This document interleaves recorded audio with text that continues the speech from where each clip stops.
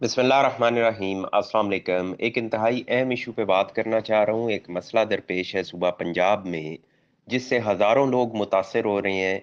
इतना अहम इशू है, लेकिन इस पर नज़र आ रहा है ना पंजाब लैंड रिकॉर्ड अथॉरिटी कोई सीरियस एफर्ट कर रही है इसको रिजॉल्व करने के लिए, ना ही बोर्ड ऑफ़ रेवेन्यू इस पर कोई एक्शन ले रहा है।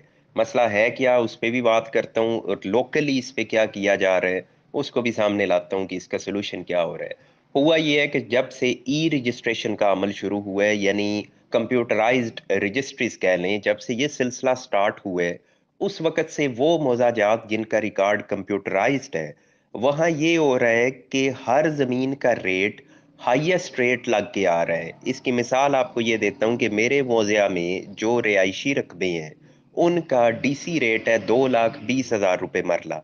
लेकिन जब कंप्यूटराइज्ड फर्द लिया जाता है तो उस पर रेट लगा हुआ आता है, दस लाख पैंतीस हज़ार रुपए मरला।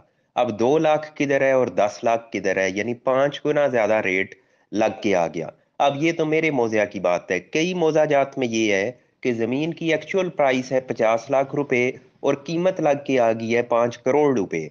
अब जब रजिस्ट्री करवाने जाते हैं ई रजिस्ट्रेशन तो उसमें ऑटोमेटिकली आप जब फर्द आईडी डालते हैं अब कंप्यूटराइज्ड है सारा सिस्टम तो वो पिक कर लेता है पूरी डिटेल और उसमें वो रेट लगा हुआ आ जाता है कौन सा? जो पाँच करोड़ है। एक्चुअल क्या है? एक्चुअल है पाँच लाख सॉरी पचास लाख पचास लाख डीसी रेट है, पचास लाख पे डील हो रही है और रेट क्या लग के आ गया? पाँच करोड़। अब आपने टैक्सेस कौन से देने हैं? आपने टैक्सेस देने हैं पाँच करोड़ के हिसाब से। वो मसला बन जाता है। अब उसका सोल्यूशन सोल्यूशन निकल ही नहीं रहा। कंप्यूटर वाले कहते हैं, हम कुछ नहीं कर सकते। यानी जो फ़र्ज़ जारी कर रहे हैं, जो सब रजिस्ट्रार ऑफ़िस है, वो कहते हैं, हम कुछ नहीं कर सकते। एसी साहब एडीसीआर साहब डीसी साहब, इनसे मुतद मीटिंग मतलब हर एक ने मीटिंग्स की, जिन जिन का इससे ताल्लुक है, जो यहाँ यूनियंस हैं हर ज़िले में बनी हुई, उनकी मीटिंग्स हो रही हैं। मैं अपने अगर ज़िले की बात करूँ तो हमारी यूनियन ने मीटिंग की।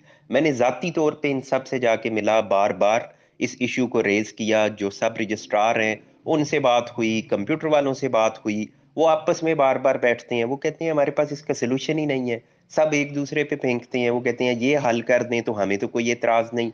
लेकिन इशू ये है, वो कहते हैं, हमारे लेवल से ये ऊपर है बात।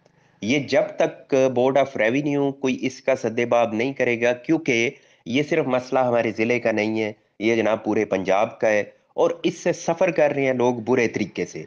अब उसका हल फिर क्या निकाला जाता है?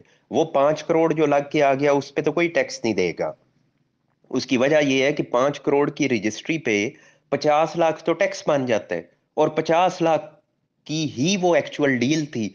यानी इसका मतलब है कि जिसने पचास लाख की ज़मीन ली, उसने पचास लाख साथ में टैक्स देना है। ये तो हो नहीं सकता। तो फिर उसका इन्होंने सोल्यूशन ये निकाला कि ये लोग, यानी जिनका ये मसला आ रहा है ये वो पुराने सिस्टम के तहत ही रजिस्ट्रीज करवाते रहे। यानी जो सिस्टम पहले था, यानी मैनुअल रजिस्ट्री का, वही अमल इनके लिए होता रहेगा। अब वो शुरू तो हो गया, लेकिन उसमें फिर मसाइल आ रहे हैं कई तरह के। क्यों? ऊपर से प्रेशर है कि जनाब, ये रजिस्ट्रीज आप बंद करें। तमाम रजिस्ट्रीज ई रजिस्ट्रेशन के तहत ही होंगी, नए सिस्टम के तहत। वो कहते हैं, नए सिस्टम के तहत हम कर ही नहीं सकते। वो से मुराद, यानी सब रजिस्ट्रार ऑफ़िस वो कहते हैं, कैसे करें? नया जो सिस्टम है वो एक्सेप्ट ही नहीं करता। वो कहते हैं, इन रेट्स के मुताबिक कराएँ जो रेट्स कंप्यूटर पे लिखे हुए हैं।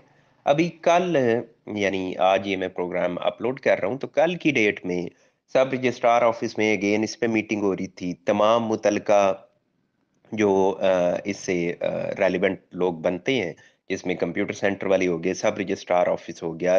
रजिस्ट्री लिखने वाले हो गए, दीगर जो स्टेक होल्डर्स हैं, वो बैठ के कि जनाब इसका क्या सोल्यूशन लेकिन वही बात कि उसमें एक अपने लेवल पे जो इनके लिए पॉसिबल है, वो उसका कोई वे आउट तलाश करने की कोशिश कर रहे हैं, लेकिन नज़र आ रहे हैं कि ये कुछ भी करें, इसमें लेटर ऑन मसाइल पैदा होंगे। और मसाइल किसके लिए पैदा होने हैं? वो खरीदारों के लिए पैदा होने हैं। जिसने खरीद लेनी है, कल को ऑडिट होना है, उसके ऊपर एतराज़ात लगने शुरू हो जाने हैं कि जनाब आपके फर्द के ऊपर पाँच करोड़ लिखा हुआ था तो आपने पचास लाख की रजिस्ट्री क्यों करवाई? आपने टैक्स बचाया है, साढ़े चार करोड़ के टैक्सेस अदा करो, वो किधर से अदा करता रहेगा?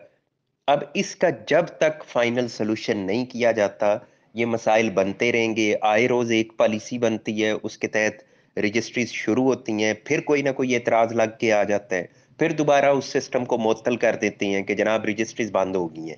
ये मैं इसलिए बात कर रहा हूँ कि पिछले कई दिनों से हमारे इधर रजिस्ट्रीज का अमल यानी इन रजिस्ट्रीज का, जिनमें ये मसाइल आ रही हैं, उनकी रजिस्ट्री का अमल रुका हुआ है। डेली उधर तल्ख कलामी हो रही होती है। सब रजिस्ट्रार सब कहते हैं, मेरा क्या कसूर? मैं कोई अब, मैं कुछ चाह तो नहीं रहा कि मैं लोगों के लिए मसाइल क्रिएट करूँ। मैं तो करना चाह रहा हूँ, लेकिन मैं, मेरे भी सिस्टम ने हाथ बांधे हुए हैं। हमें भी पूछा जाता है कि आप ये क्यों पुराने सिस्टम पे रजिस्ट्रीज कर रहे हैं? नए सिस्टम के तहत रजिस्ट्रीज करें, और नए में हम कर नहीं सकते, जिनके साथ ये मसला है।